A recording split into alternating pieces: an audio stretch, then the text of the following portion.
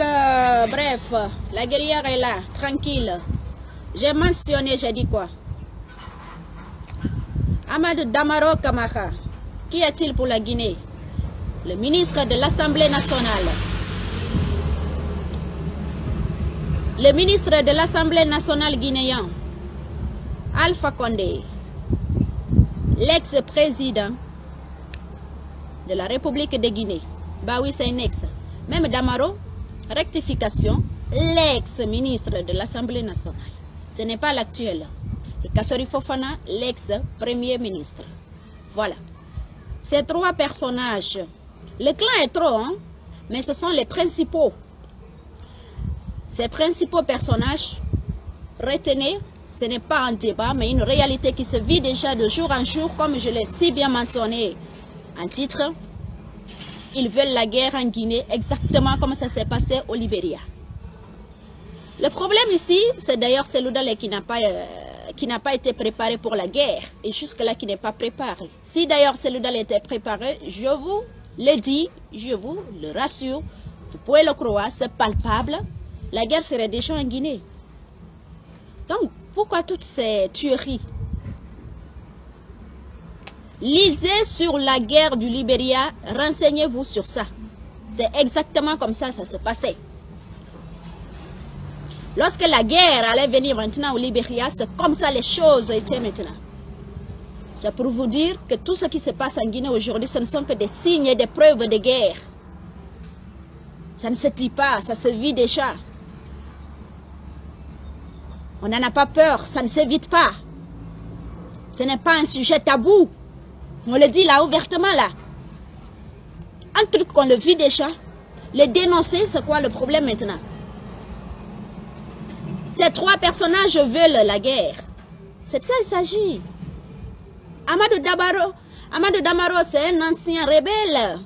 Vous le savez tous déjà, il a son histoire. Un ancien donzo, c'est eux qui ont passé la guerre du Libéria. C'est eux qui ont passé la guerre du Libéria. Après, là-bas, il est tombé. Il était là-bas, aux États-Unis, très misérable. Très, très misérable. C'est là son complice, Kassori Fofana, est parti le prendre, l'envoyer en Guinée. Parce que Kassori Fofana se dit, lui, c'est un ancien rebelle. Il peut renforcer le RPG. C'est Kassori Fofana qui est parti prendre Damaro aux États-Unis. Et l'envoyer, le faire foncer dans notre gouvernement là-bas. Il y a beaucoup de choses. Ce sont ces personnes-là qui le mettent dans la tête du vieux là. Hein. Alpha Condé, c'est aussi un rebelle confirmé. Mais le vieux là, en réalité, ce qui se passe cette année-là, toutes ces tueries-là, toute cette démagogie maintenant, tout ce machiavélisme-là maintenant, tout n'est pas de ce vieux-là. C'est même pas le vieux d'ailleurs, c'est son entourage. Le vieux est fatigué. Le vieux ne fait que ce que lui dit son entourage et puis c'est tout là. Et puis c'est tout. Le vieux est fatigué, très fatigué. Et quand on parle de l'entourage du vieux là, Damaro, faites attention à Damaro. Damaro est dangereux. Damaro est dangereux. Damaro, c'est un ancien donzo, l'ancien rebelle. C'est eux qui ont passé la guerre du Libéria. Après ça, il est devenu misérable. Il est parti aux États-Unis là-bas. Il était là-bas en train de souffrir dans la merde totale. Son soi-disant ami Kassori Fofana est parti le prendre là-bas pour dire viens rentrer dans les RPG. Parce que là, nous avons besoin de rebelles pour nous renforcer. Puisque nous ne foutons rien, mais nous voulons toujours nous emparer du pouvoir. C'est Kassori Fofana qui a intégré Damaro dans les RPG. Et actuellement, tout ce qui se passe là, violation des femmes enceintes, toutes ces tueries qui se passent sur le ratement, sur l'axe, un peu partout en Guinée, toute l'insécurité qui est là, tous ces vols, toutes ces corruptions, c'est Damaro qui est à la tête, avec son complice, Kassori Fofana. Ce sont les deux là. Les deux gros serpents là, non, ils font fort à côté du corps. Ils font fort. Vrai, vrai, ils font fort. Damaro, il fait fort. C'est Damaro qui amène les stratégies du Libéria en Guinée. C'est Damaro qui fait oser le vieux. C'est Damaro qui dit Alpha Condé, le vieux, bah, vas-y, fonce. Fonce le vieux, il n'y a rien en face. Fais comme le Libéria. Dans la guerre du Libéria, c'est là vous avez vu, on ouvrait le ventre des femmes enceintes. On coupait les bras et, les pieds des hommes vivants, on les assoit. Son Libéria, on a tout vu. Mais une seule exception, rappelez-vous que le peuple libérien est un peuple avec cœur. Imaginez, cela s'est produit avec un peuple qui a le cœur. Maintenant, comparativement au peuple de Guinée qui est sans cœur, qui est peureux, qui n'a aucune détermination, zéro unité nationale. Donc, Damaro a trouvé sa poubelle. Damaro a trouvé sa poubelle. C'est quelqu'un comme ça, vous allez prendre pour, pour le mettre comme ministre de l'Assemblée nationale. C'est quelqu'un comme Damaro, quelqu'un qui ne prie pas, quelqu'un qui ne connaît pas Dieu, un ancien rebelle, quelqu'un qui a fait la guerre. Il est sorti de la guerre, il est parti aux États-Unis, il vivait de la misère là-bas. Vous le prenez là-bas, vous l'envoyez en Guinée, vous le mettez dans les RPG, et puis vous le donnez ce gros poste comme ministre de l'Assemblée nationale. Quelqu'un comme Damaro, vous allez le faire ministre de l'Assemblée nationale. Ah, voilà les raisons pour lesquelles la Guinée est foutue. Hein?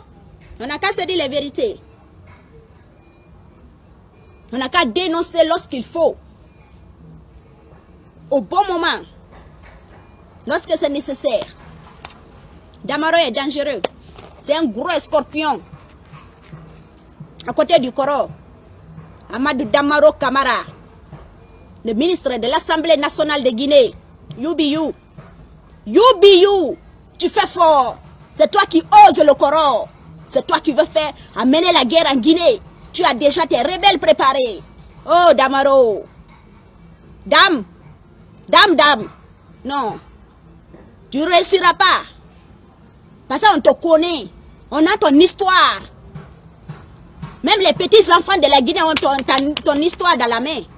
On a ton histoire, dame. Dame, dame. Tu n'es pas ministre de l'Assemblée nationale de quelqu'un ici. Comme Tu n'es qu'un ancien rebelle qui est parti s'asseoir dans la misère en Guinée. À Philadelphie là-bas, précisément. Ton ami Kassori Fofana est parti te prendre en Philadelphie là-bas, t'envoyer dans l'RPG dans notre Guinée là-bas. Tu es là en train de s'aimer de la pourriture, de la merde, des assassinats incontrôlables. Damaro, you be you. You be you. Mais tout finit par finir dans ce monde. Tout finit par finir dans cette vie. Damaro est dangereux. Damaro, c'est un scorpion. Damaro, c'est un ancien rebelle. C'est Damaro qui veut venir. quand je dis ce veut, quand je dis il veut, j'ai mal conjugué le verbe. Damaro a déjà fait venir. Celui qui dit au Coran, tu as peur de quoi? On amène le système du Libéria en Guinée, puis point barre, c'est tout. On les massacre. Ce ne sont pas des humains, ce sont des animaux. C'est nous, c'est nous, c'est la dictature totale. D'ailleurs, pire que le Libéria. Parce qu'à l'époque, on peut dire que c'est une époque vraiment de l'Antiquité. C'était avant. Mais en 2026, en 2026, en une époque, c'est-à-dire d'émergence comme ça, hein? Laissez-moi, je bloquer ça. Je bloque. J'ai pas de temps pour les inconscients. Donc, je bloque. Pas. Ça fait quoi? Ça fait rien. Je suis la seule capitaine de ma page. Je bloque là-bas ce qui ne me plaît pas. Je laisse ce qui me plaît. C'est moi seul, j'ai le contrôle. Donc, on ne chie pas sur ma page. Lorsque je parle d'un thème important, on ne vient pas pour faire du n'importe quoi. Je te bloque et puis je passe. Tu es qui? C'est moi, j'ai le contrôle. Je suis la capitaine, l'unique capitaine de ma page. Ma tête ne te plaît pas, tu dégages. Mes vérités te choquent, tu dégages. Je n'invite personne. Je m'adresse à mon peuple. Les gens qui sont connectés le partageront. C'est tout moi. Je force rien moi. Tout passe tout tranquillement. Donc, Damaro, ah, tout ce qui est en train de se passer là, les tueries, on a fait ceci, voilà ce qui s'est passé encore sur l'axe, voilà ce qui s'est passé encore au nord, au sud, tout ce qui est de criminalité, tout ce qui est de criminalité, c'est Damaro. C'est Damaro et c'est Damaro. C'est moi qui vous dis ça. C'est Damaro, hein? C'est Damaro qui a pris le système de la guerre du Libéria, pas, il a envoyé en Guinée. Je ne le souhaite pas, c'est une réalité, tout comme je l'ai mentionné. Tout comme je l'ai mentionné. Bientôt, vous allez voir, ils vont ouvrir le, ventre des champs. Ils vont ouvrir le ventre des femmes enceintes, enlever leurs enfants dans leur ventre. Bientôt, vous allez voir, ils vont couper bras des champs. Déjà, ils le font. Mais je vous dis, c'est Damaro. C'est Damaro qui met ça dans la tête d'Alpha Condé. Alpha Condé a sa criminalité et tout, mais son entourage là, il est plus dangereux que lui.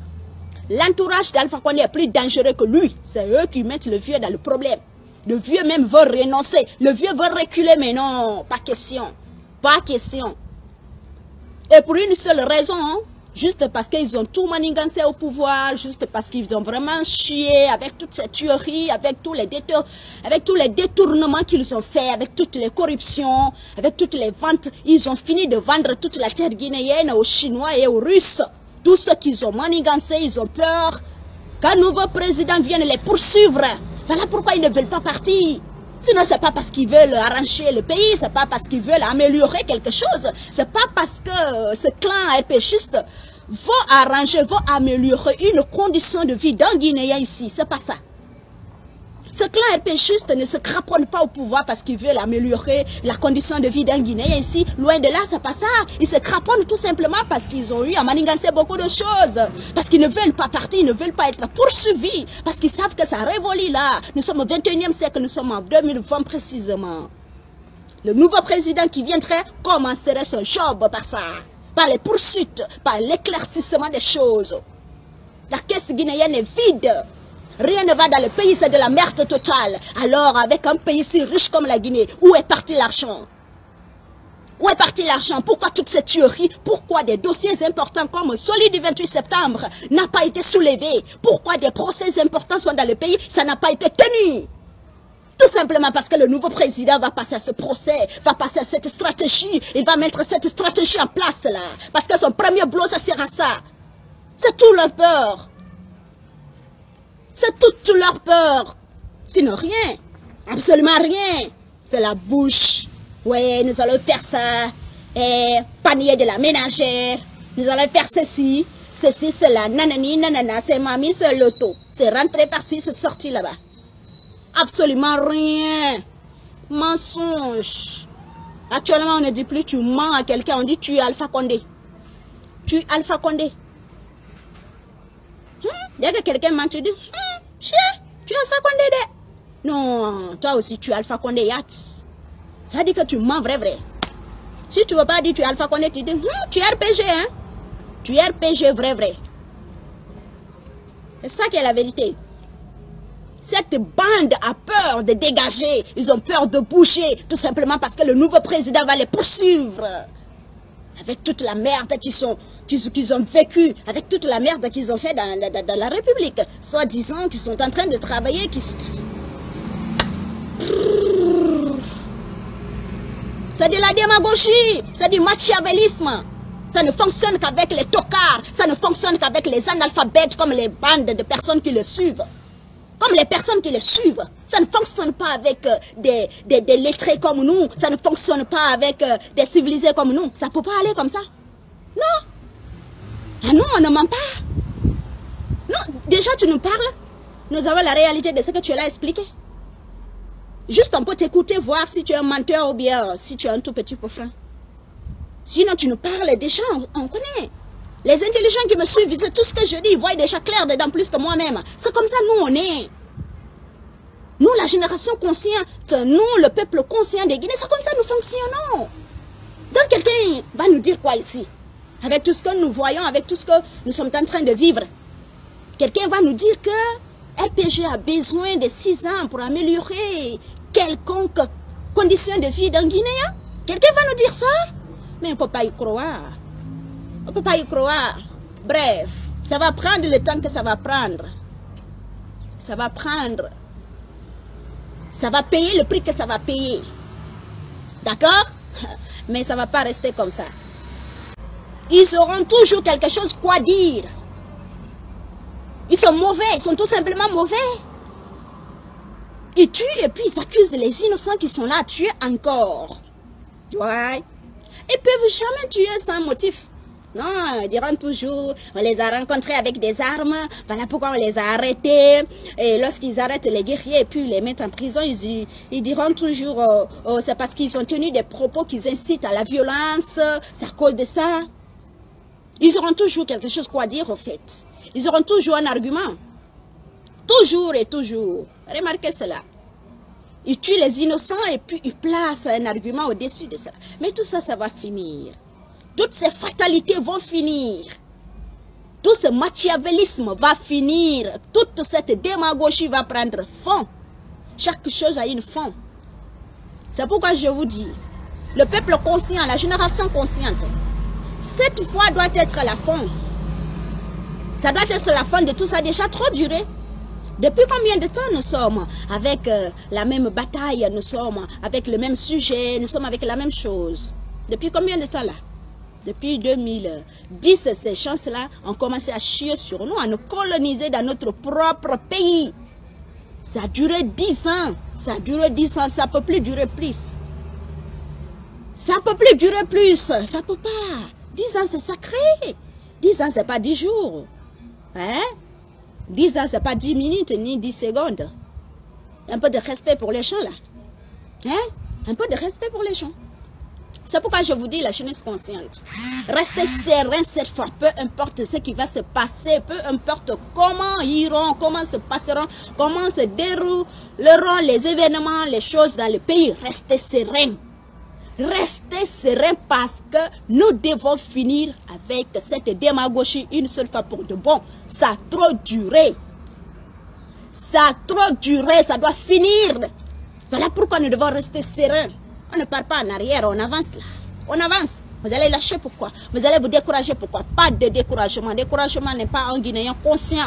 Donc chez nous là, pas de découragement jusqu'à ce que ça change. Ça doit changer ou ça doit changer une bande hypocrite, une bande démagogue, une bande euh, machiavélique ne peut pas s'emparer du pouvoir ici en train de faire souffrir les innocents, les tuer et puis les accuser en plus.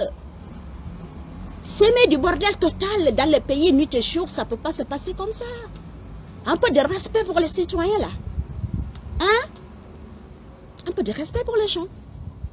S'il vous plaît là. Ah, c'est pourquoi nous devons rester sereins, pas de recul. Mettez en tête, dites-vous, peu importe ce qui se passera, peu importe le prix à payer, peu importe le temps que ça va prendre. Mais nous restons calés. Nous restons sereins. Nous partons jusqu'à la victoire finale. C'est ça ou rien. C'est ça ou rien. Mettez ça en tête et puis avançons. Avançons. C'est ça? Donc c'est Damaro-là, c'est lui, c'est Damaro qui veut amener le système palpable de la guerre du Libéria en Guinée. C'est Damaro, c'est Damaro, c'est Damaro qui dit au vieux France, France n'est pas froid aux yeux, faisons comme le Libéria. Moi j'ai vécu la guerre du Libéria, c'est comme ça, ça s'est passé chez toutes les stratégies. Et justement c'est pourquoi il a été contracté. C'est pourquoi il a été contracté pour le FPG. C'est le motif pour lequel Kassori Fofana était parti le prendre à Philadelphie et puis l'envoyer dans les RPG en Guinée, puis le donner ce gros poste de ministre d'Assemblée nationale. D'autres pays nous disent, mais vous, la Guinée, eh, les Guinéens, vous êtes comment? Nous, on pensait que la Guinée était un pays intègre. Alors les Guinéens sont si sages, si matures, si intelligents. Mais à la fin de compte, on voit que vous êtes vraiment très bêtes. Hein? Quelqu'un comme Damaro, celui, vous celui, vous allez pointer chez vous là-bas en Guinée comme ministre de l'Assemblée? Quelqu'un comme Damaro celui qui va devenir euh, ministre de l'Assemblée chez vous? Quelqu'un qui ne mérite même pas d'être un chef de village chez les autres? Hein? Dans des pays émergés, même à Côte d'Ivoire, Damaro ne peut pas devenir ministre de, de, comment je vais dire, ministre chef de village là-bas.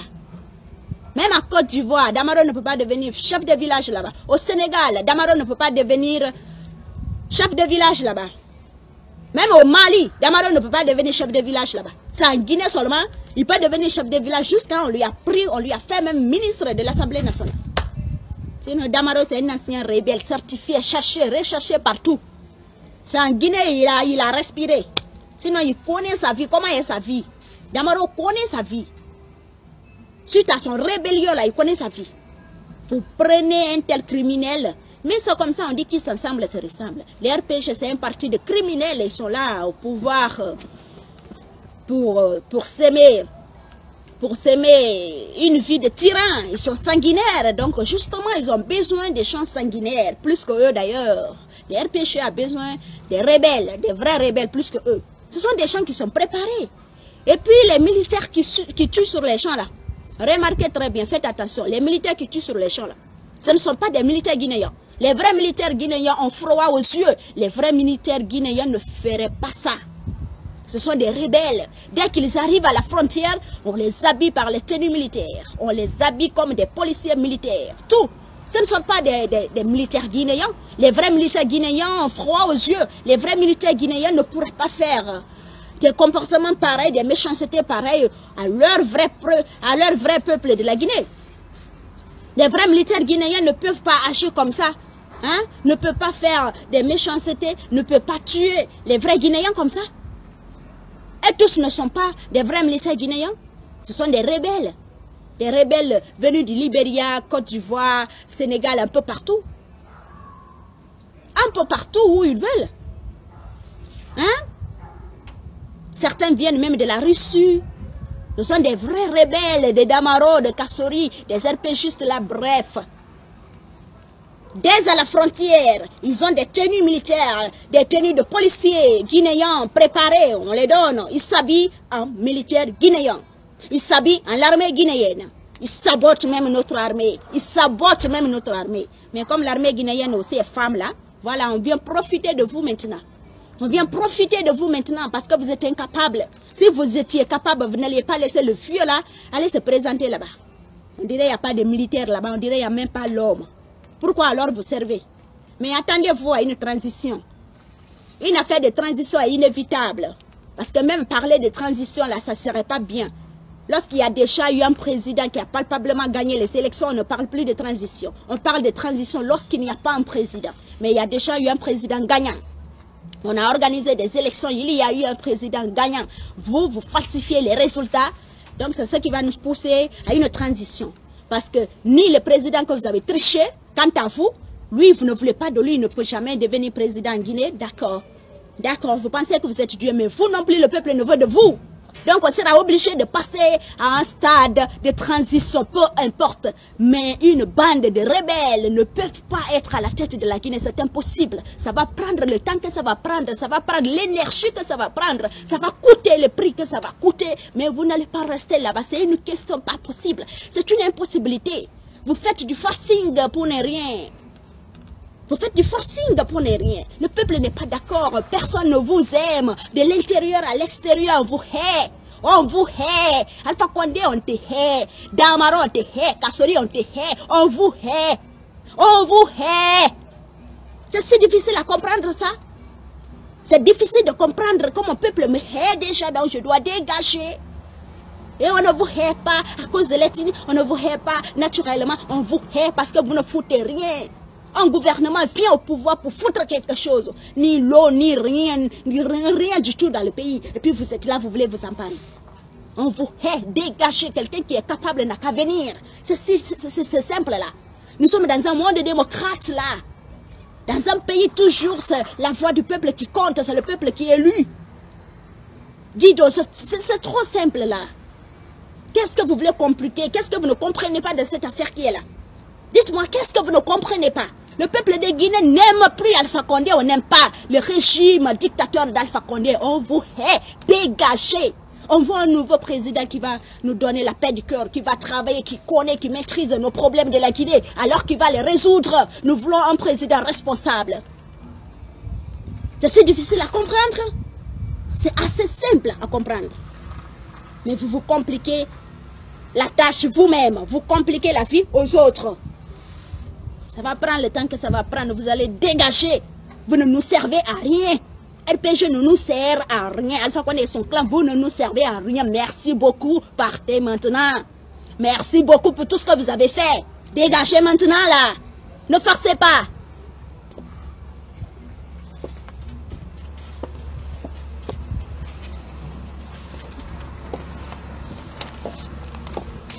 Vous êtes là, vous tuez, vous tuez, vous tuez sans honte. Vous tuez, vous tuez, vous tuez sans peur. Sans rien. Qu'est-ce que vous voulez?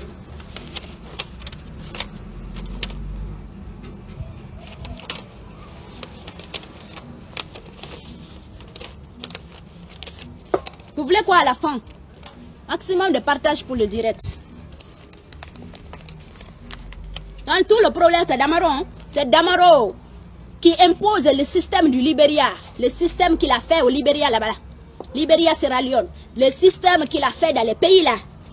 Comment s'est passé exactement la rébellion, la guerre à laquelle il a participé là Hein? C'est ce système-là il a amené. Et ça a été le motif de le contracter. C'est à cause de ça que Fofana était parti le chercher. Pour dire, Joe, toi tu as déjà fait la guerre. Toi tu n'as pas froid aux yeux. Comment ça s'est passé au Libéria Nous voulons que tu viennes intégrer l'RPG. Parce qu'en Guinée aussi, nous voulons la guerre là-bas. C'est ça. Ce clan-là n'est pas là pour le bonheur de quelqu'un. Ces chances ne sont pas là pour le bonheur des Guinéens. Ils sont là pour une guerre, ils sont là pour une mission bien déterminée. Eux-mêmes ont déjà leurs rebelles bien préparés.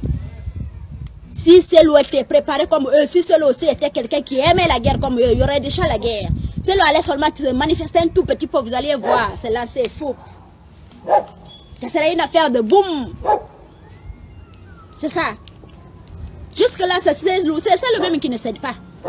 Je vous dis, si c'est le cédait un tout petit peu, il y aurait déjà la, guerre là-bas. Il y aurait déjà la guerre là-bas. C'est ceux qui ne cèdent pas. Quant à eux, c'est ceux qui n'est pas préparé. Oui, oui, c'est ce qu'ils se disent. Quant à eux, c'est ceux qui ne cèdent pas. Sinon, eux sont préparés pour la guerre. Hein. Ils sont préparés pour la guerre. Palpablement même. Tchap, tchap, sont préparés. Ce sont des mauvais. Des rebelles réunis là-bas. Ça va nous coûter de les enlever là-bas. Ça va prendre du temps de les enlever là-bas. Mais ils vont quitter là-bas. Maintenant, pour les gens qui passent tout le temps à dire Cállate, cállate, Cito, cállate, por favor, cállate. Gracias. Te quiero, ven para acá. Ven. Ándale, mi Cito. ¿Para qué ladras? ¿Mm? Ya, cállate. Tranquilo, tranquilo.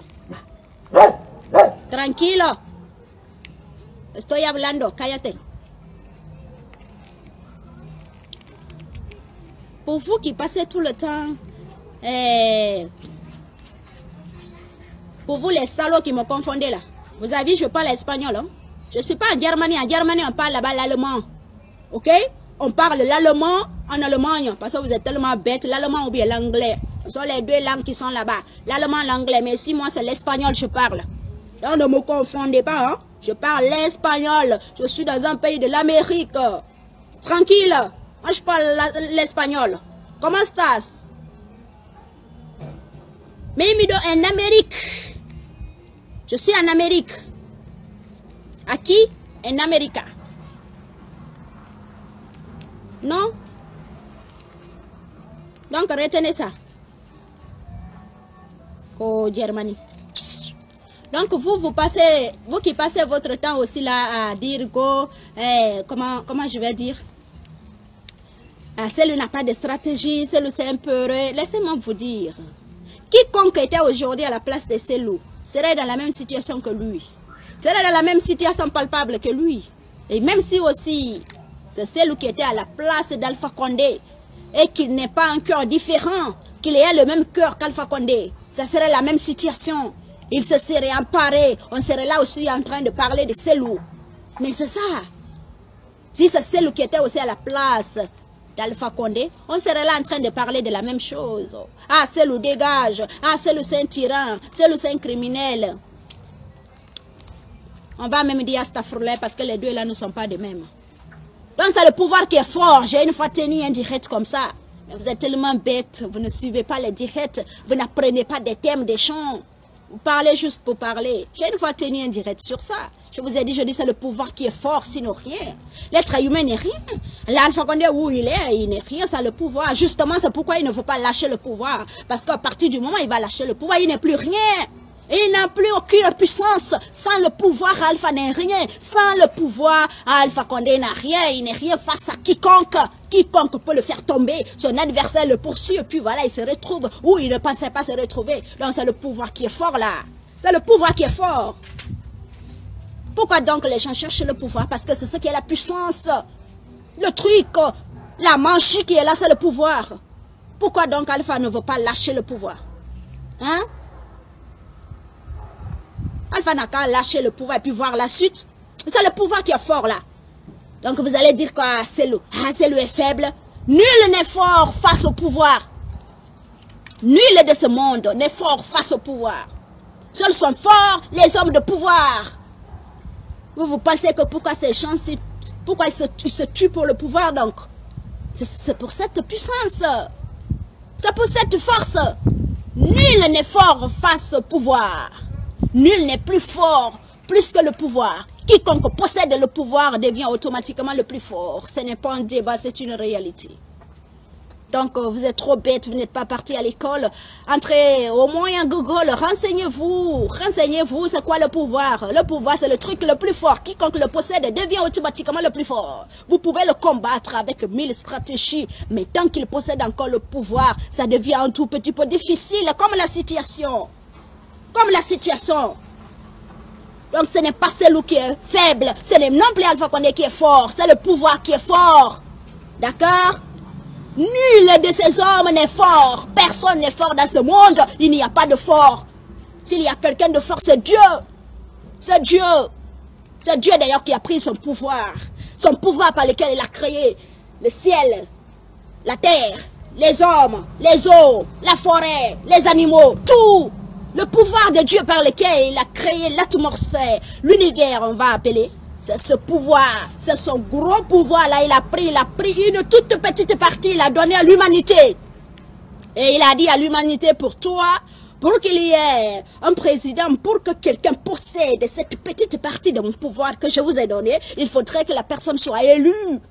Parce que moi, je vous gouverne tous. Je gouverne tout l'univers par mon pouvoir. Par contre, euh, ce pouvoir que je vous donne, la personne pourrait gouverner seulement un pays, les habitants d'un pays, les habitants d'un continent, ainsi de suite.